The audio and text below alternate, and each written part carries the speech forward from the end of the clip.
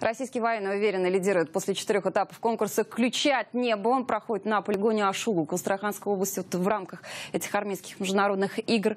Накануне расчеты стран-участниц отражали условный авианалет противника. Воздушные цели имитировали самолеты оперативно-тактической и дальней авиации. Это редкие кадры, когда можно увидеть работу расчета зенитно-ракетного комплекса С-300.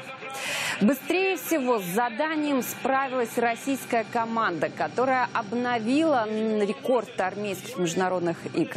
На заключительном этапе конкурса военных ждет самое сложное испытание – боевые пуски по ракетам-мишеням. Расчетам необходимо будет поразить эти цели всего за полторы минуты.